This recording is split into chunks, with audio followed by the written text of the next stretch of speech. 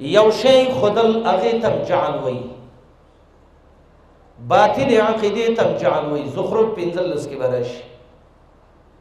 یجعلون کې ضمیر دی راجع دی د اصحاب الصیب ته ورجعل مختلفې معنی دي ښه فقه کې مسله راغلې وه ويجعل المؤذن اصبعه في اذنه مؤذن به دا ګوتې چې اذان کوي که نه نو د غوږونو کې به ږدي نو بعضی خلک په دې پوه نه شو لکه جام خو ګرځولو ته وایي نو چې انسان کوي دا ګوتې د ستاوي میچنې ته جوړ کړي ته ته ویل کدا ولی وي پیقه کې دي کنه وای جعل المؤذن ګرځي به به تر ټیرونه واچو چې به ګرځي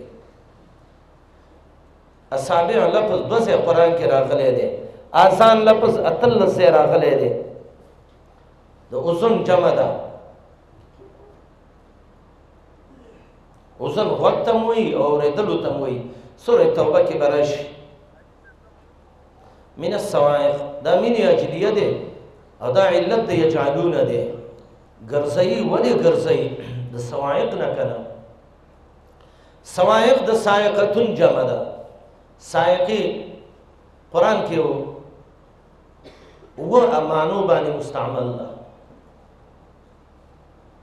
مرتم صاعقه وي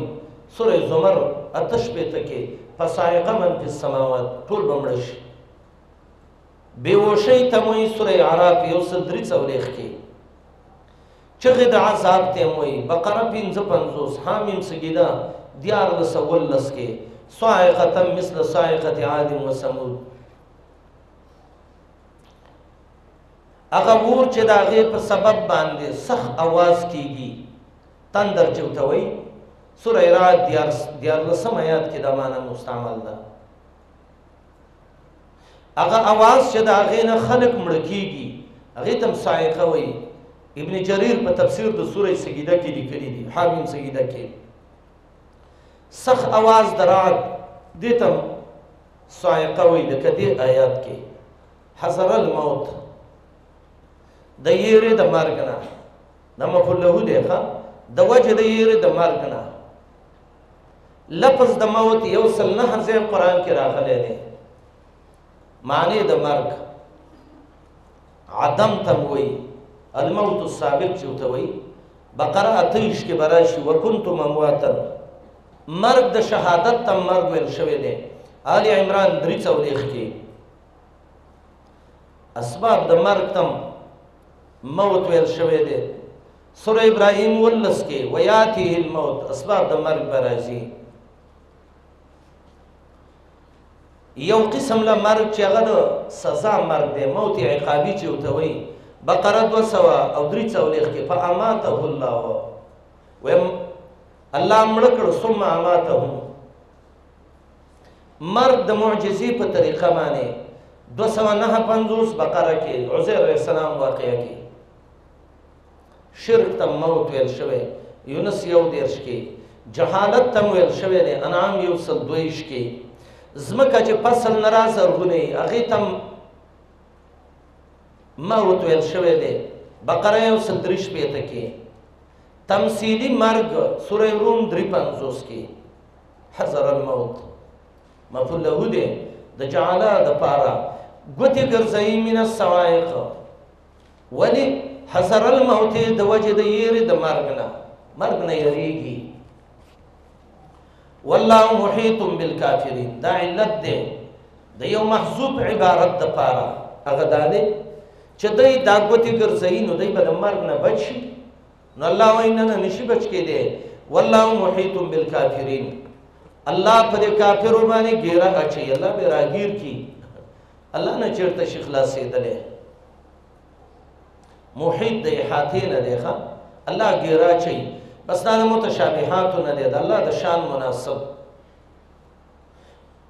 چا خدا معنا کړی دا الله په ګیرا چې عالم دی په څو کوئی جمع کون کې هم دی څو کوئی هلاک کون کې هم دی مختلف معنی کوي خو خدا دا چې دا متشابهات نه دي حقيقي معنی الله ته معلومه ده بالکافرین تخصیص وکړه دا دلالت پدې کوي چې دا پوره عذاب د کافرو د پاره دی او دلته ور منافق اعتقادي ته کافر ویلي قران نه دا به دین هم ډیر نفرت کوي ښا تطبیق د مثال د ممثل سره اول مثال باندې ځان پوهه کوي کله چې مثال باندې ځان پوهه کوي به ممثل ته وګورئ به وګورئ چې قرآن په خوان پوه شئ او پوه نه شئ مثال داسې دی څه خلک دي صحرا ته روان دي کله چې دی روان و یو کندې خوا ته کېناستل ناڅاپه اسمان کې تورتم راوچت شو د دې سر ته ورېځې رالې لازمي دا ده چې د ورېځو سره ګړز ګړوز مې کړه ګړز ګړوز سره پړقا مې تورتم جوړ شو پړق جوړ شو رڼا جوړه شوه خلک دوه قسمه خلک یو خیر خلک یې هغه د کندې نه وځي وایي سیلاب راځي چېرته آبادۍ ته وځو د سینه چې دغه شي دا غر کم نه کي نو هغه خلک ځان له رڼا ولګوي نو رڼا چې ولګوي یو آبادۍ ته وځي دویم قمقل خلک یې د خره وروري خر باندې چې ازمری راشي د سترګې پټې کې وي ما نه یې دي ځینې نم نو ما هم نه یې دي بس هغه پې راشي او بخۍ بخۍ یې کسې مدونه پې ووایي ښه وایي پلاني ځای کې خر مات کړی سترګې پټولې نو مات یې کړه دا بعضې خلک چې هغه ګړز ګړز شروع شي که نه دی ورو د خوړ مخې ته کینی دا ګوتې راوالي دی غوږونو کې کینی وایي چې دا ګړزان اورم قمقل دی کنه غړزا شو وزا دی وای چې زه نه اورم بس دلته نه صاحب ګوري پړک کوشي لګرنا وشي د مخ کې لاړ شي بیا تورتم شي بیا ولاړی چې بیا پړک کوشي بیا مخ ته زی بیا بیا دې طریقه باندې رواني دی دا کار کوي دی غوګونو کې دا ګوتې ولګ دي سینه چې دا आवाज تیز را نشي مړ مې نه کی بس دا کاته کوي کوي نا څه په سیلاب را ورسی او د مخې سي وې سي ختم کی ښا یو مثال الله ذکر کړی دی مثال څنګه وری قران سره مثال ولګوي ډېر بخښي او منافقانو سره هغه دا دی باران د لخکې نه کې د بره نه بره نه که نه قرآن د بره نه راورېږي او که صیب من السما باران کې پیدي که نه نو چې کله باران کې پیدي باران دی قرآن خو د بره نه رادغه کېږي کتاب انزلنا ویلې من ربک د بره نه راغلی دی باران چې شروع شو فيه ظلمات باران کې تورتمین او قران کې د دې هغه ته تورتم عقیده هغه د کفر عقیده د شرک عقیده د بدعت عقیده دای ول ذکر کړی دي ورعد باران کې ګړز ګړوزي نو دای لم زواجری دا کار مکه جهنم ته بلار شي تبا بشي ذلیل بشي و برق باران کې برېښناګانې وي برېښنا څه وي دا د توحید دا ښکلي ښکلي دلایل ګوره قرآن نازلیږي د دوی په کفرونو باندې رد کوي رات دی هغه سواجر او تخویفات دي دی له برق دی او سبرق څه دی د توحید دلایل هم دي دا کافر را پاسېده په ګوتو کې غوږونه غوږونو کې ګوتې کې خو دی چې دا تندر را باندې ونه لېږي د سینه چې قرآن وانه ورم چېرته بل دین ته وانه وځم دا د قرآن اواز په داسې لګي لکه تندر چې پې لګي او دا تشبیه سه معلومه ده څوک چې مخالف د قرآن وي قرآن په سم د تندر د ګزار په شان لګي بعضې اکثر وایي که نه یاره دا مولوي صاحب دا سبق وایي ما باندې د ټوپک د ډز په شان نه دی وایي ما ته په صورت بقره کې نولسم آیات کې لیدلی ښه ورک نه شي ګوره دا وګوره که من الصواعق حضر الموت تندر نه خلک غوږ کې ګوتې ږدي د څه وجې نه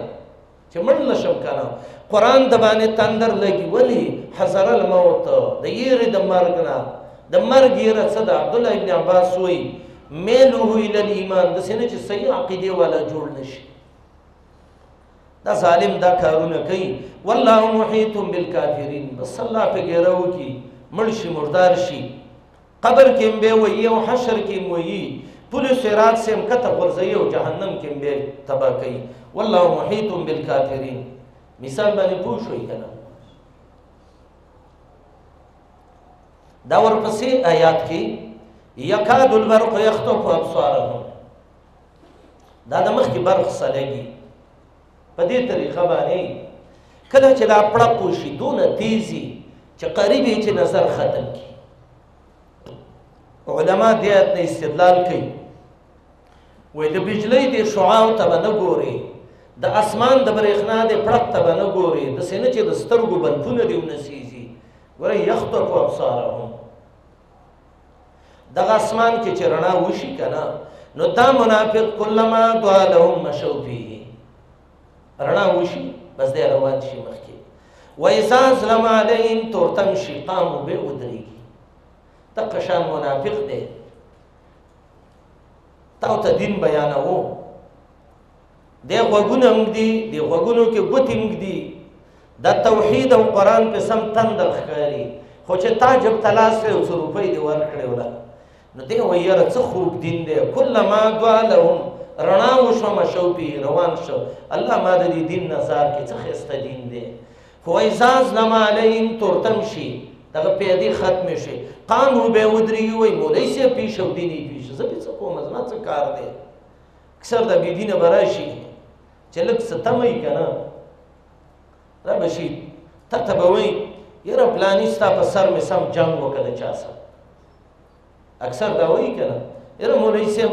ستا په سر مې جنگ وکړ د سينوي چې د الله په دین مې جنگ وستا په سر مې وکړ کړه تا ته ځان خې ته څه دروغ وای مړه زما خو وړو کې سر دی چې تا په جنگ کړي کو ټوټي ټوټي کړي وي غروخ دی دا دی کوم ځای کې زما په سر دی جنگ کړي دی دا خلک دي ها اضاء لهم مشو فيه واذا ظلم عليهم قاموا حدیث د بخاری کې راغلی دی رسول الله علیه السلام وایي تعیس عبد الدینار تعیس عبد الدرهم تعیس عبد الخمیسه تعیس عبد الخمیله الله دې د کمبلې او د شړې او د جامو بنده تبا کی ان اعطي رضي و ان لم يعط سخطا که څول ور کړې شي ډېر خوشاله او که ور ول نه کړې شي ډېر خپای ښا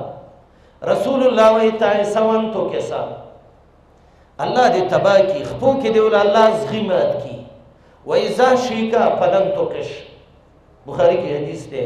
او کله چې خپه کې ازغیمات شي نو الله دې دې راونی استې کی ښا نه صبوري لیکلي د دې آیات لاندې وای دې آیات کې تشبیه ورکړه د قران د باران سره لکه څنګه چې باران باندې زمکه لمدېږي نو قران باندې زړونه تازه کیږي لکه څنګه چې باران کې تورتمي نو قران کې د دې کفریات او شرکیات می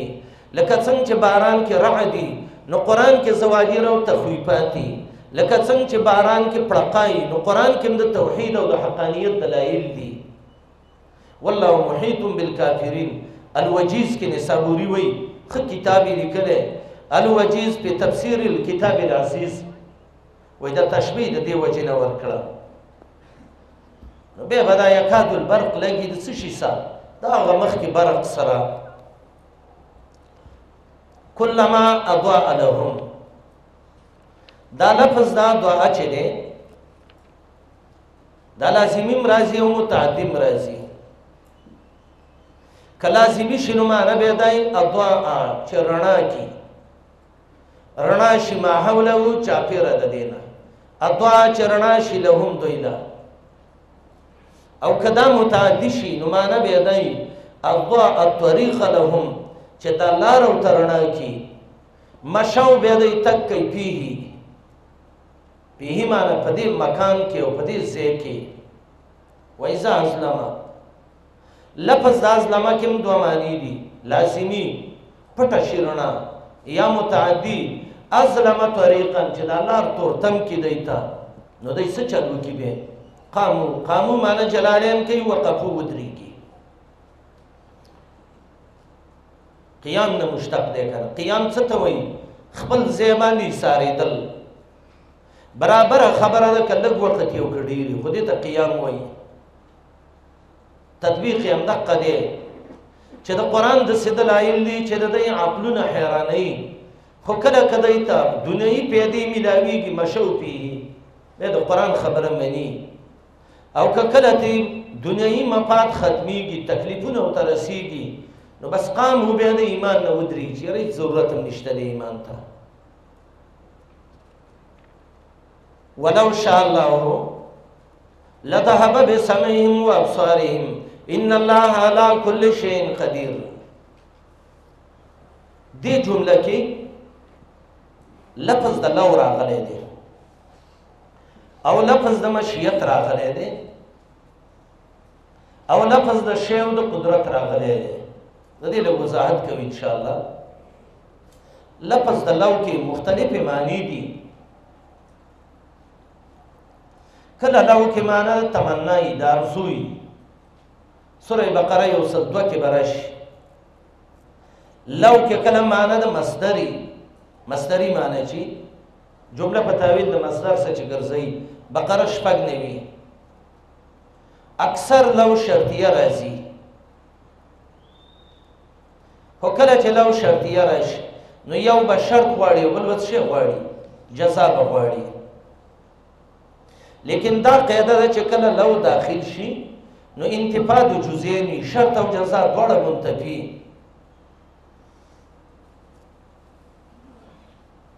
دلته لو د الله د مشیت سره غلې دی لو شاء الله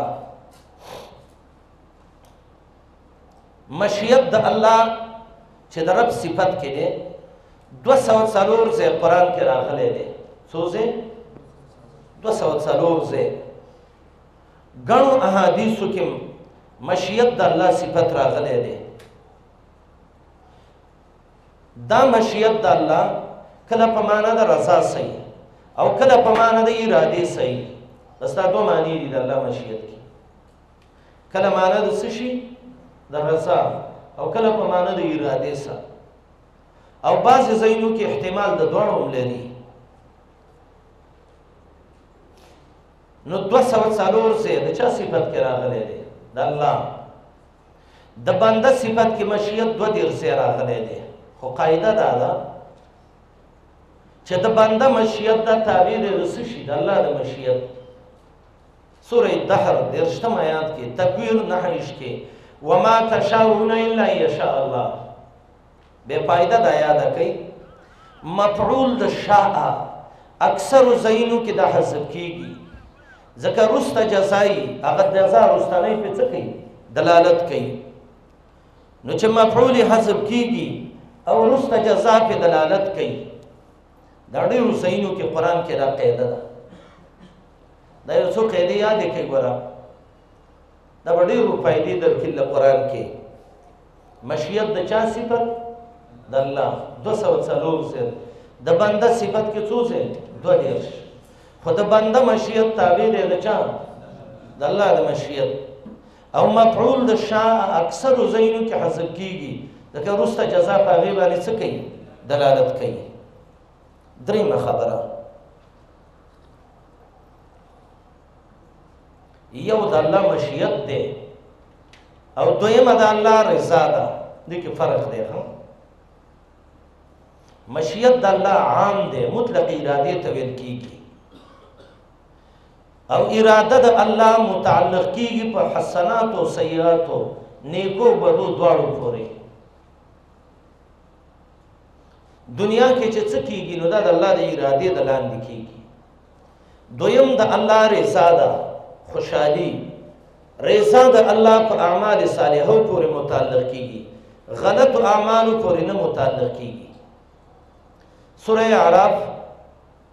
یو سلطه عشق براشی ان الله لا یامر بالفحشاء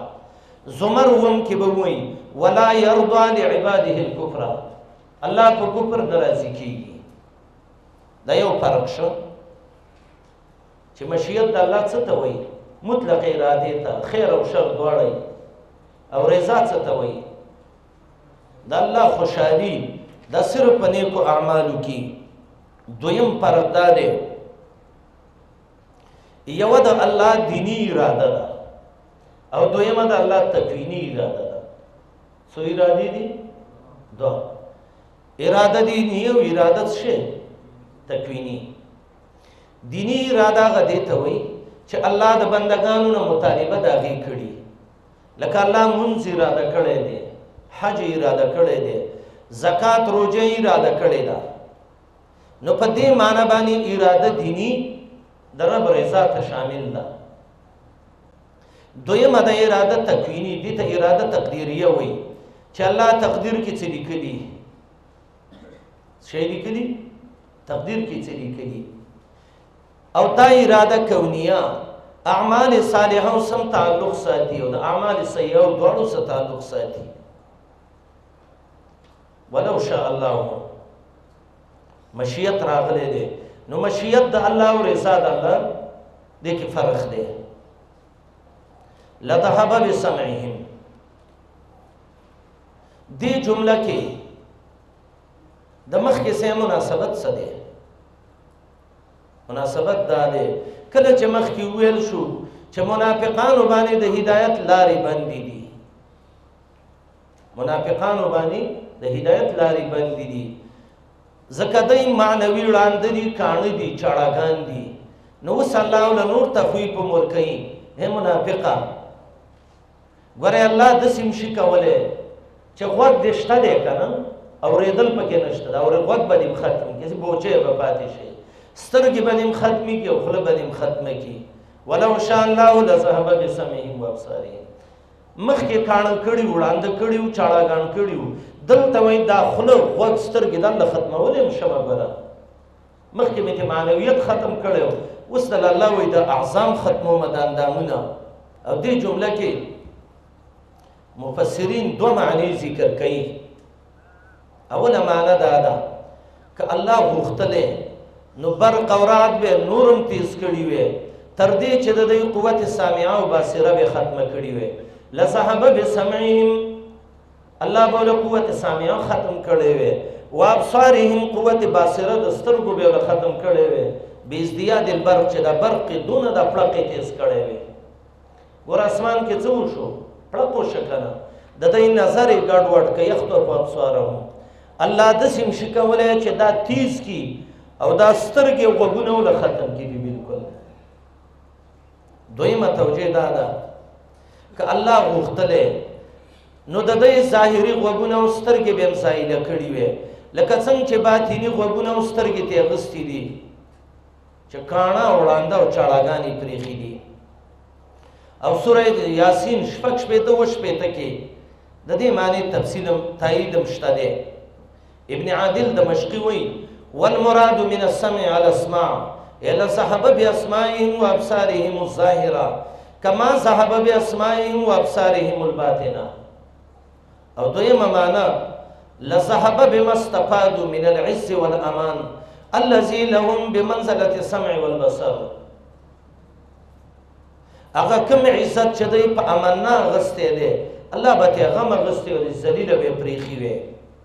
نو دواړه معنی وکړي ولو شاء الله کله غختله دا برق به تیز کړي وي لذهب بسمعهم قوت سامعه به مولا ختم کړي وي وابصارهم او قوت بصره به مولا ختم کړي وي دویمه معنا که غختله الله لذهب بسمعهم ظاهری غوګونه به مولا ختم کړي وي ابصارهم سترګې به مولا ختم کړي وي غوږ به یې نه وی او سترګې به یې بندې وی لکه څرنګه چې معنوي تی ختم کړي وو هلکه دا خو ډېر قوت لري چې دونه برق کې برېښنا پیدا شي او هغه به هسې تیزه شي نو الله پسې وروسته وایي ان الله على كل شيء قدير دا دلیل د ما سبق دی یقینا الله په هر شي باندې قدرتناک دی رب العالمین هر شي باندې قدرتناک دی د الله ټول صفاتونه د دې رجع دوه سيزونو ته کیږي یو د الله علم ته دویم د الله قدرت ته دا ان الله على كل شيء قدير دې جمله کې عظمت د شان د قدرت د رب دی او دا دلیل دی د ما سبقه کما ملازمه چې ذکر شو لذهب بسمعهم او معنا دا ده مشیت د الله دی له مستلزم دی ولی ځکه الله خاوند قدرت دی او په هر شي باندې قدرت لري نو برېښنا تیزول او د دوی سترګې ختمول د الله ته څه دي دلته یو خبره کوم چې دا به وروسته قرآن کې نه کوي انشاءالله لفظ د شی قرآن کې دوه سوه نهه اویا ځل ذکر شوی دی دوه سوه یو کم اتیا ځل مفرد او څلور کرتې جمع راغلې ده او لفظ د شی اصل کې دا د شع مصدر دی او دا مصدر کله مبني للمفعولی او کله مبني للفاعلی مبني للمفعول چې شي معنا غشې چې غشوي او مبني للفاعل چې شي معنا کوونکې خو کله چې دا مبني للمفعول شي نو په هر ممکن په حین د وجود کې او که معدومي خو چې روسته وجود ته راځي نو هغه ته شامل دی او دا مراد د دې جملې دی چې ان الله علی کل شیء قدیر اوس چې څه موجود دی او یا روسته کېږي نو د الله قدرت کې دی مفسر خطیب شربینی لیکلی دی تفسیر سراج المنیر کې چې دا دلیل دی په دې چې هر وخت کوم شی وجود ته راځي او یا په وخت د بقا د وجود کې نو دا الله د قدرت د لاندې ان الله على كل شيء قدير به دلته یو اختلافي مسله ده علما د علم کلامي ذکر کوي اختلاف دی کې دی چې اطلاق د شی په الله کیږي او کنه کیږي اطلاق د شی الله باندې کیږي او کنه خدا غ وخت کې ورخه چې کله شی مصدر مبني للفاعل والی معنی خاوند مشیت که مصدر مبني للمفعول شي نو په هیڅ صورت باندې د هغې اطلاق به په چا نه کېږي الله باندې نه کېږي خو کله چې شی مصدر شي او مبني للفاعل شي معنی څه خاوند د مشیت بیا دې کې د علماو اختلاف دی اکثر اهل سنت والجماعت وایي وای بیا د شی اطلاق په الله صحیح دی او د دې وجه نه چې قران او سنت کې دا اطلاق راغلی دی سوره انعام نلس کې دی قل ايو شيء اکبر شهاده کوم شی ډېر دی په گواہی کې جواب قل الله شهید بیني و الله ته شی ویلي دی قل الله شهید بیني و بینک لفظ د الله جواب کې واقع شوی دی سوره انعام نلس آیات کې دی دا همدارنګه وهو بكل شيء عليم الله په هر شي عالم دی په ځان باندې عالم دی کنه دریم حدیث د بخاری کې صحیح حدیث کې راغلی دی ليس شيء اغير من الله هیڅ یو شی د الله نه غیرتی نشته الته مطلق په الله شوی دی بل روایت کې دی ليس شيء احب اليه المدحه من الله دې روایت کې اطلاق شوی دی په څه باندې ها شی باندې نو دا قول ان شاء الله غوړه دی بعض علما وایي اطلاق نشي کېدای ولی که اطلاق وشي نو الله به داخل شي د دې جملې د لاندې چې ان الله علی کل شیء قدیر نو الله به مقدور او ممکن شي الله هو مقدور او ممکن خو نه دی خو د هغې جواب بیا دا دی چې دې آیات کې ان الله علی کل شی قدیر شی په معنا د مبني للمفعول څه دی او موږ چې کوم اطلاق یادو نو هغه مبني للفاعل مبني للمفعول نه دی دویم دا دا کومه کلیه چې دلته ذکر ده الله د دینه مستثنا دی په دلایل عقلیه چې هغه براهین قطعیه دي په دې خبره باندې چې الله حادث او ممکن نه دی نو دا استثناءات شرعیه دی به د دې نه دا مستثنا دی لکه الله قادر دی په ځان نو دا هم مستلزم به د به د خونه دی او دا عقیده چې الله باندې به د شی اطلاق نه کوي دا د جهم ابن صفوان بی دین عقیده وه علما د سلف دې باندې سخرت کړي دي ابن عادل اللوباب کې اول جز 304 کې تفسیر کبیر دویم جز 300 کې دې باندې رد کړي دي خدل ته یو خبره دا یاد کړئ وردا د شی اطلاق به کیږي په قران او حدیث کې تلاوت کې چران وې به داسې ونه وایه چې هغه شي په قرآن کې ویلي دي العیاذ بالله دا به بې ادبي ده دا به نه وایه داسې نور قرآن او حدیث کې قل ایو شین اکبر شهاده قل الله نو دلته اطلاق شي کولی قدیرون د الله د ثبوتی صفاتونو نه دا یو صفت دی د فعیل وزن دی مبالغه کې ده د قادر نه ډېره معنی ده کې چا خو ویلې چې قدیر او قادر یو معنا ده الله قدیرم دی قادرم دی مقتدرم دی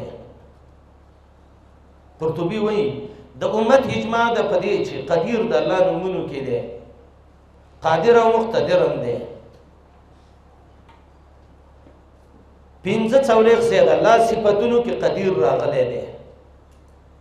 وان الله علی نصرهم لقدیر سوره حج نه حدیث کې نیسا یو صدری دیش کې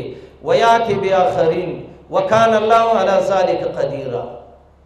سوره شورا نه حدیث کې وهو علی جمعهم اذا یشاء قدیر ټول ماده د قدر یو سل دیر سه قران کې راغلي ده لسو طریقو باندې د استعمال شوه دی پنځه څلوېښت ځای د الله صفتونو کې راغلی دی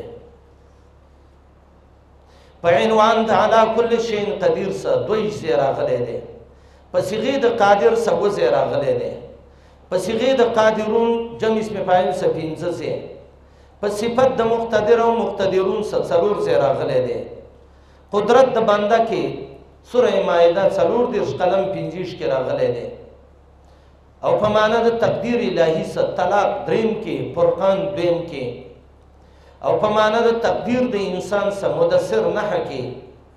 او په معنا د تعظیم سره راغلی انعام یو ته کې او په معنا د تنسیح سره راځي رعد شپږش کې انبیا واتیه کې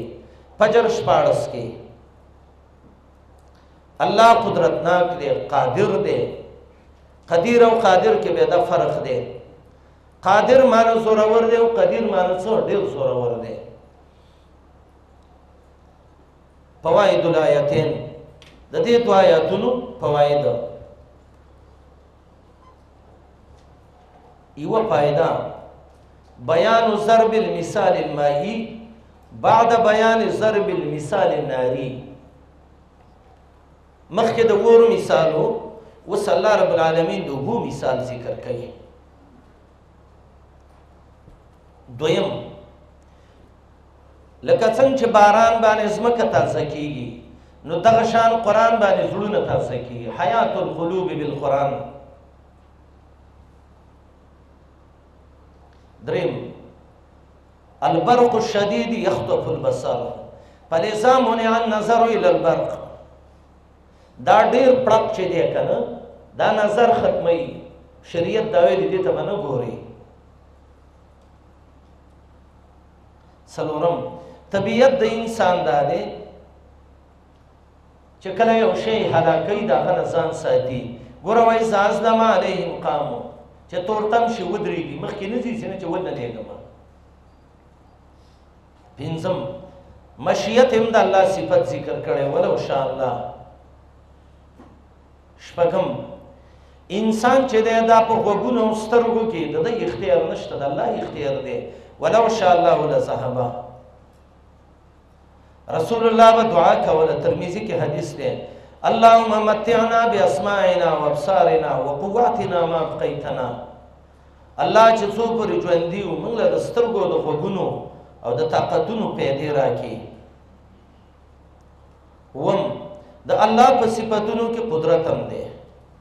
اتم عموم د الله د قدرت ځکه کلمه د کلو مفید دی د عموم د استغراق د افرادو ان الله على كل شيء قدير نحم دو زدین الله ذکر کړی دلته ناری شینا او ظلمتی شینا درنا والا او د تورتم والا حالات د مطر ذکر کړی دي سوائق رعد برق ظلمات یو لسم منافق ته چې کله دنیوي پیدې ملاویږي به دین کې خوشاله او چې نه ملاویږي به دین بالکل پروام نه ساتي کلمہ دعا لهم مشوفی ویزاز لمالهم قام دولسم منافق خدام دی او تمام دی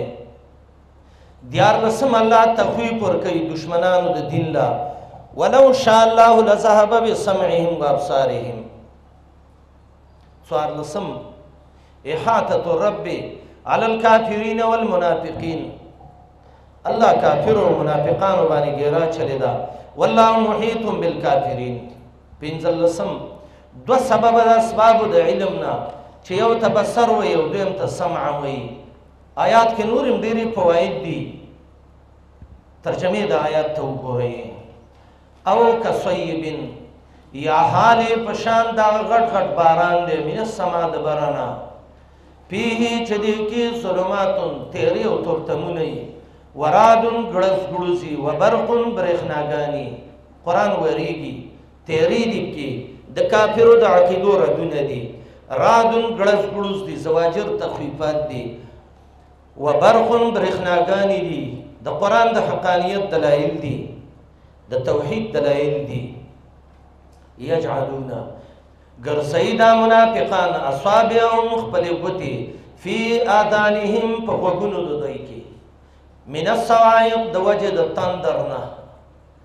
دا قران په سم تندر لګي ښه او رست قران کې الله به وایي قران نه د څه تختی کانهم حمر مستنفرا فرت من قسورا لکه دا خردي او د زمری نه چې تختی ښه او الله د قران باره کې وایي فاین تسحبون د قران نه کوم خاصي حضر الموت د وجد یې د مرګ نه امرګ څه دی میل قلوبهم الى الايمان د سینې چې ایماندار نشي والله والله محیط د هر طرف نه ګیرا چون کې د خپل شان مناسب بل کافرین په کافرانو باندې الله به راګیر کی یکاد البرق نږدې د دغه برېخنا یخته کو چې و تختی ابصارهم نظرونه د دی دا د توحید دلایل داسې روښانه دي یا د جهاد حکم چې ته وکړي د سیری کا نظر چې ګیری ګیری شي کلمہ هر کله اضاء چې رڼا شي لهم دیتا یا رڼا کی لار دیتا مشو به تک کی پیه په دغه ځای کې یا دغه رڼا کې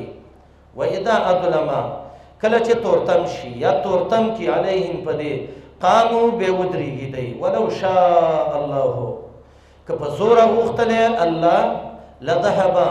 خامخا به ختم کړي وي بسمعهم هغه قوت سامعه ده دی و ابصارهم قوت باصره ده دی بی ازدیاد البرخ یا دویم معنا لذهبا بوله به و بسمهم ختم کړي به وي غوګونه د دی او سترګې د دی لکه څنګه چې نظر یې ختم کړي نو غوګ او سترګې به مول ختم کړي وي دا ولی زکه ان الله یقینا الله علا کل شین قدیر په هر شي د ډېرو قدرتونو والا باب ختم کو عظمت د قران ذکر شو په ذکر د درې صفاتونو د قران سلوی او دو ثبوتی درې جماعت ذکر کړو متقین پنځه صفاتونه داغي دنیوي او اخروی جزاء اولئک علی هدى من ربهم اولئک هم المفلحون کافر یې ذکر کړ درې علامې کفرو انذرتهم ام لم تنذرهم او لا یؤمنون دنیوي جزا ختم الله علی قلوبهم اخروی جزا ولهم عذاب عظیم منافقان ذکر کړ پنځلس قبایح ول ذکر دنیوي جزا یې ول ذکر کړ اخروی جزا یې ول ذکر کړ ولهم عذاب علیم او د دې د پار درناک عذاب دی